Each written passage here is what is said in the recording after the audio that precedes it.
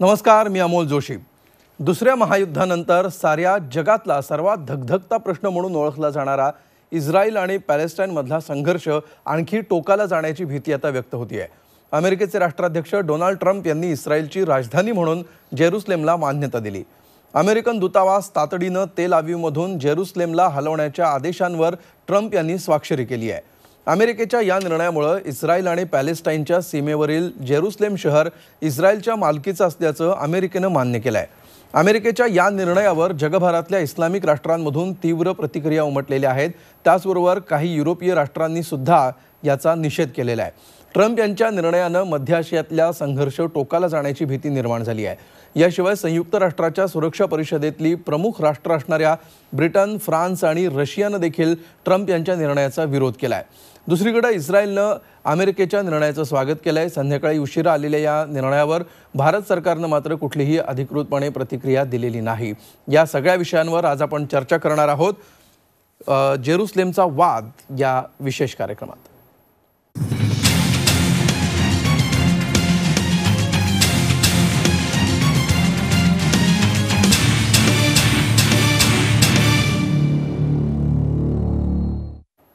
आणि या विषयावरच्या चर्चेकडे वळण्यापूर्वी आपण बघूया अमेरिकेचे राष्ट्राध्यक्ष डोनाल्ड ट्रम्प यांनी केलेली ही घोषणा With today's action, I reaffirm my administration's longstanding commitment to a future of peace and security for the region. There will, of course, be disagreement and dissent regarding this announcement. This sacred city should call forth the best in humanity, lifting our sights to what it is possible, not pulling us back and down to the old fights. आणि या विषयावर अधिक आणि सविस्तर चर्चा करण्यासाठी आपल्याबरोबर सध्या सुधींद्र कुलकर्णी आहेत. सुधींद्र कुलकर्णी हे लेखक अभ्यासक आहेत. त्याचबरोबर आंतरराष्ट्रीय राजकारणातले तज्ज्ञ म्हणून देखील त्यांची देशभरात ओळख आहे. अ, सुधींद्रजी स्वागत झी चोवीस तासवर. त्याचबरोबर ए एफ पीचे मिडल ईस्ट प्रतिनिधी जय देशमुख हे काही वेळातच आपल्याबरोबर या चर्चेमध्ये असतील. सुधींद्र सर ट्रम्प यांनी ही जी घोषणा केलेली आहे यामागे डोनाल्ड ट्रम्प यांचा काय हेतू दिसतो याविषयी आपण सुरुवातीला सांगा. कारण यापूर्वीच्या तिन्ही राष्ट्राध्यक्षांनी ही घोषणा करणं टाळलेलं होतं. त्यांना शक्य असताना देखील ही घोषणा त्यांनी केलेली नव्हती. मात्र ट्रम्प यांनी त्यांच्या जाहीरनाम्यामध्ये हे आश्वासन दिलेलं होतं आणि त्यानंतर त्यांनी ते पूर्ण देखील केलं आहे काय नेमका ट्रम्प यांचा हेतू दिसतो या घोषणेमागे?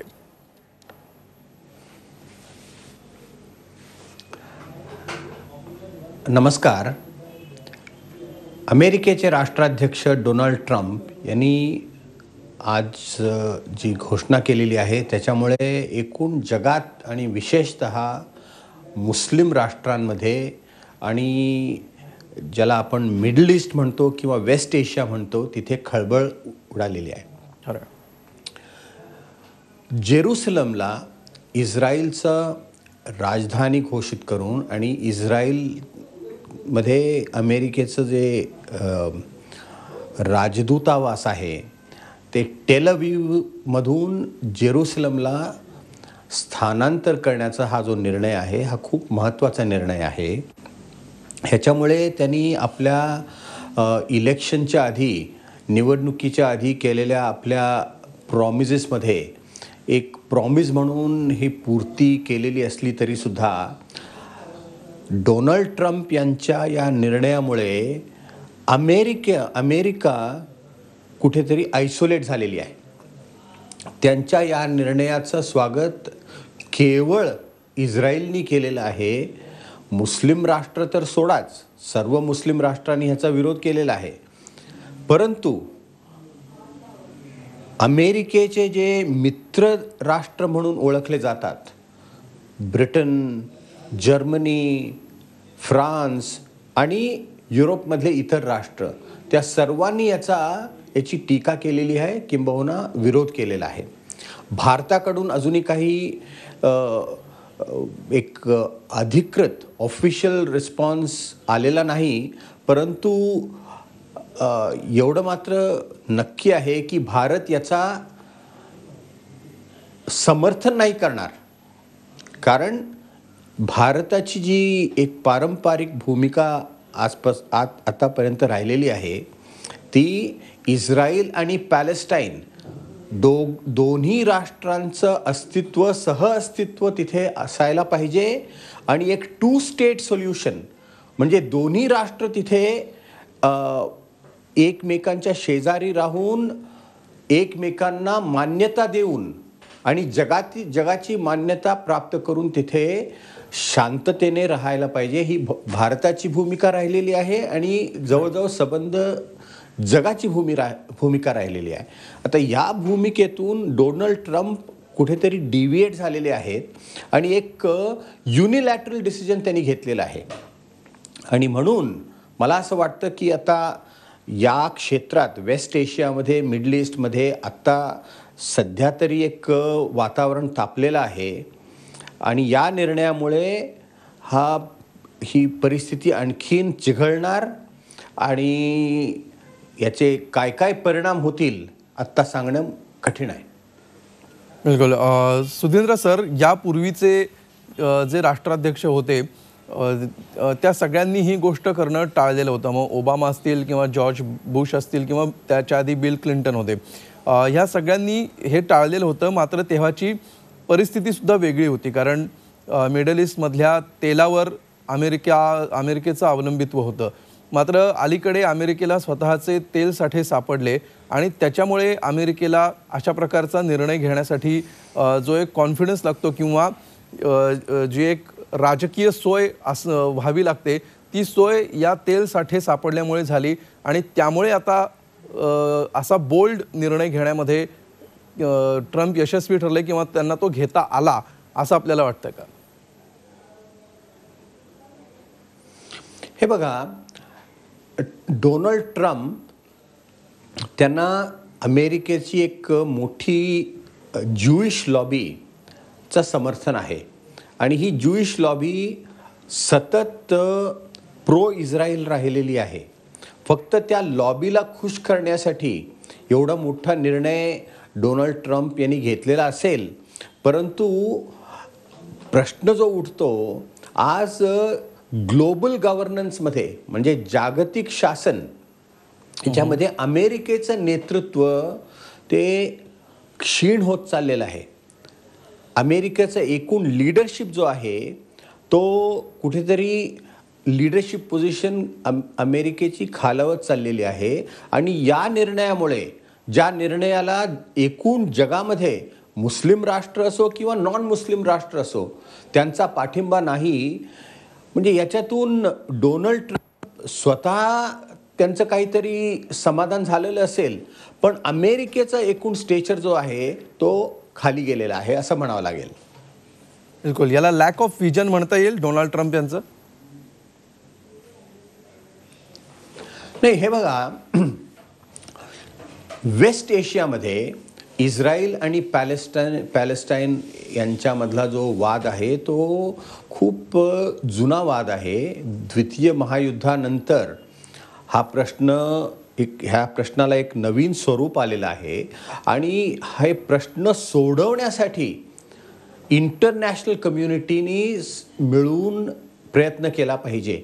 आणि एक अशी एक कन्सेन्सस निर्माण झालेली आहे की two nation two state solution म्हणजे इस्रायल तिथे काही मुस्लिम राष्ट्रांचं म्हणणं आधी असं होतं किंवा किंबहुना अजूनही असं आहे मुस्लिम समाजातलं एक एक घटक की इस्रायल तिथे राहण्याची त्याला अधिकारच नाही आहे पण असं म्हणण्यात काही अर्थ नाही. इस्रायल इज अ रियालिटी इस्रायलला तिथून कोणीही हकलून टाकता येणार नाही.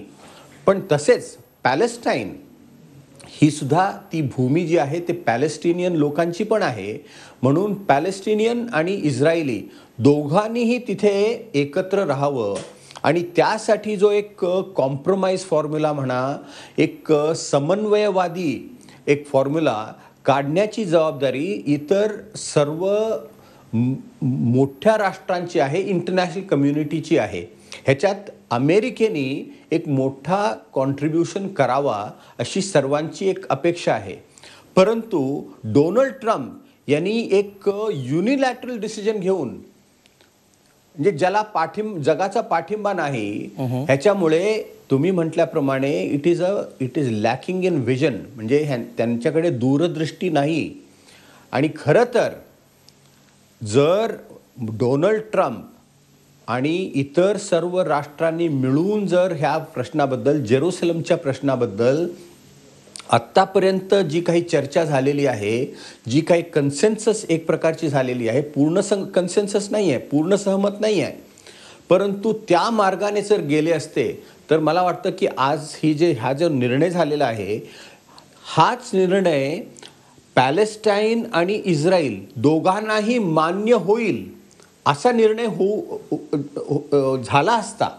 आणि ह्याचं मी थोड्या नंतर मी स्पष्टीकरण सांगू इच्छितो कारण जेरुसलमची जी जेरुसलमचा जो इतिहास आहे तो असा आहे की नाईन्टीन सिक्स्टी सेवनच्या आधी जेव्हा एक अरब इस्रायल युद्ध झाला ज्या युद्धामध्ये अरबान अरब राष्ट्र ते डिफीट झाले आणि इस्रायलचा विजय झाला नाईन्टीन सिक्स्टी सेवनच्या आधी ईस्ट जेरुसलम तो इस्रायलचा भाग नव्हता. राईट त्या युद्धाच्या विजयानंतर इस्रायलनी ईस्ट जेरुसलमवर आपला कब्जा केलेला आहे. म्हणजे तो इस्रायलचा भाग नव्हता. वेस्ट जेरुसलम तो पूर्वीपासून इस्रायलकडे होता. परंतु वेस्ट जेरुसलम म्हणजे पश्चिम जेरुसलम आणि पूर्व जेरुसलममध्ये खूप मोठा फरक आहे. जो भाग यहुदी ख्रिश्चन आणि मुस्लिम तिन्ही धर्मियांना अत्यंत पवित्र आहे तो भाग आहे पूर्व जेरुसलम. पश्चिम जेरुसलम त्याचं काही पा असं धार्मिक पावित्र्य नाही आहे. हो.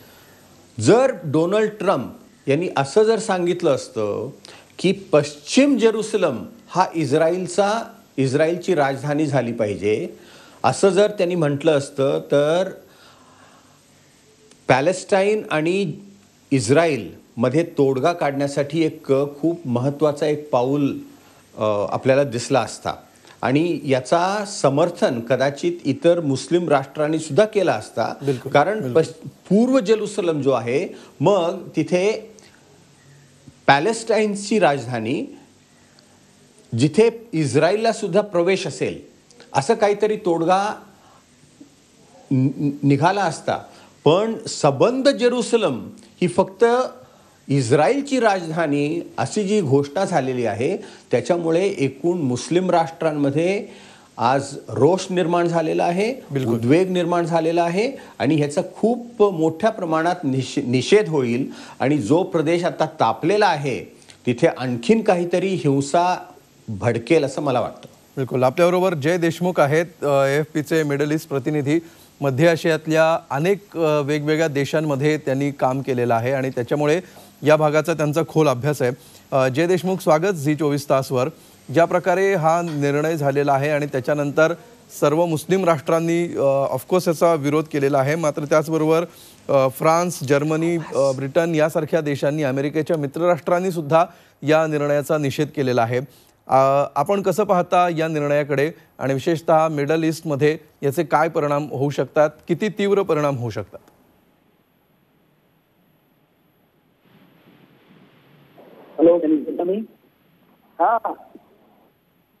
I can.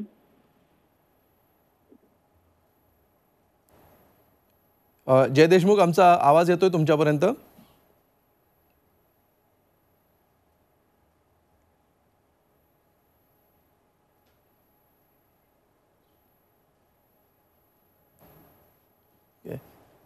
जय देशमुख यांच्यापर्यंत आपला आवाज पोचत नाही आहे आपण एक ब्रेक घेऊया आणि ब्रेक नंतर ही चर्चा आपण सुरू ठेवूया. एका ब्रेकसाठी आपण थांबतोय. पाहत रहा हा विशेष कार्यक्रम जेरुसलेमचा वाद.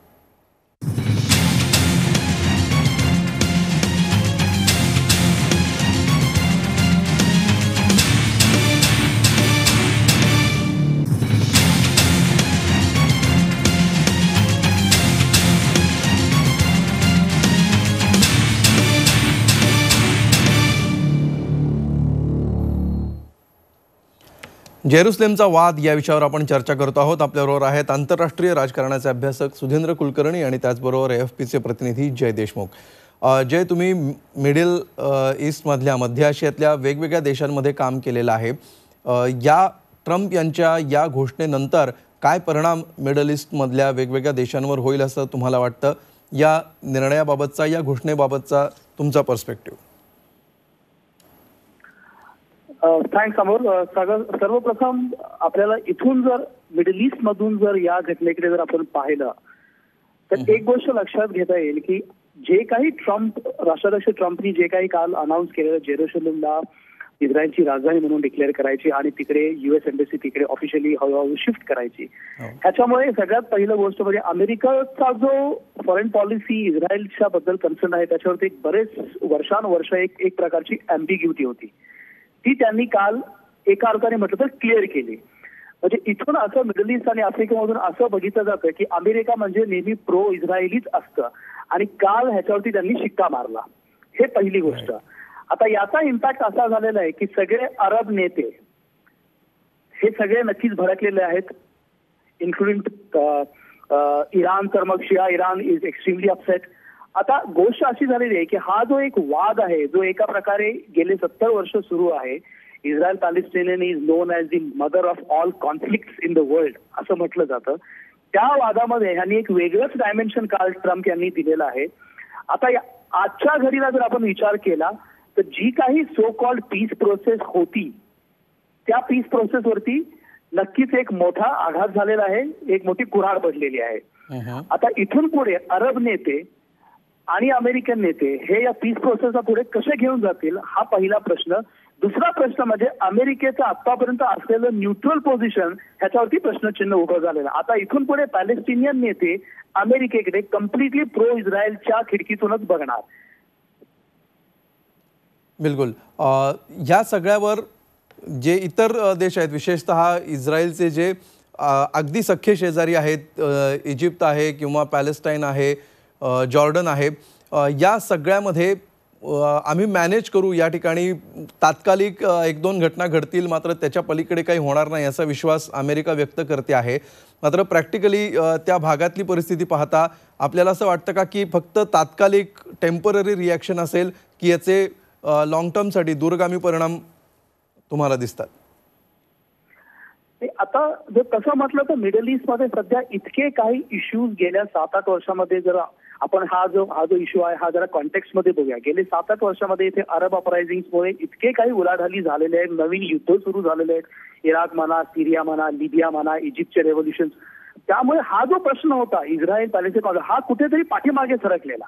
हो. या प्रश्नाला कालच्या ट्रम्पच्या निर्णयाने ह्याला पुन्हा फ्रंटवरती आणलेला आहे. हा- हा पहिला इम्पॅक्ट हम्म. दुसरा इम्पॅक्ट मी जसं म्हटलं की पीस प्रोसेस सध्या बारगळली. हा सेकंड इम्पॅक्ट पण आज जे हमा जे हमासचे नेते आहेत हमास जे पॅलेस्टिनियन गाझा स्ट्रीपवरती कंट्रोल करणारी जी इस्लामिस्ट मिलिटंट मुवमेंट आहे त्यांच्या नेत्यांनी म्हटलं की आता we will have to start third intifada म्हणजे तिसरं अपरायझिंग आता सुरू करायला पाहिजे.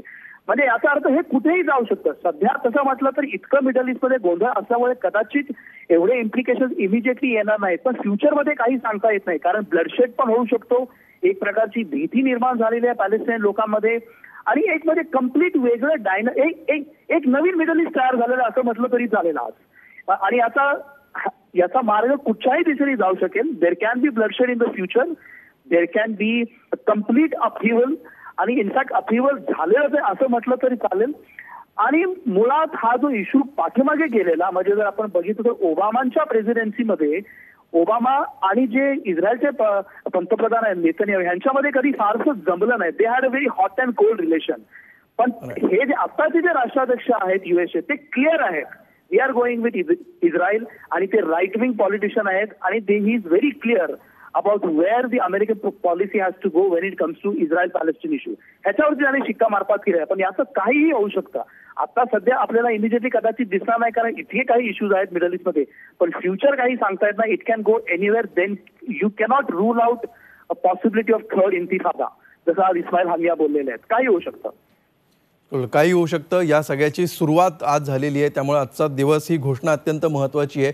इथून पुढच्या अनेक वर्षांचा इतिहास या घटनेमुळे लिहिला जाणार आहे किंवा तो बदलणार आहे. आणि त्यामुळे आजचा हा ट्रम्प यांनी घेतलेला हा निर्णय त्यांनी केलेली ही घोषणा ही केवळ एक घोषणा नाही आहे तर एक आंतरराष्ट्रीय राजकारणातल्या घडामोडींचा एक मोठा उगम म्हणून या घटनेकडे पाहायला हवं. सुधींद्र कुलकर्णी आणि जय देशमुख तुम्हा दोघांचेही धन्यवाद. तुम्ही आपले पर्स्पेक्टिव्ह आमच्याशी चर्चा केलीत आणि या सगळा हा सगळा विषय सोप्या पद्धतीने आमच्या प्रेक्षकांना उलगडून सांगितला त्याबद्दल. यानंतर जेरुसलेमचा वाद या विशेष कार्यक्रमामध्ये आम्ही इथेच थांबतोय. ताज्या बातम्यांसाठी पाहत रहा झी चोवीस तास रहा एक पाऊल पुढे.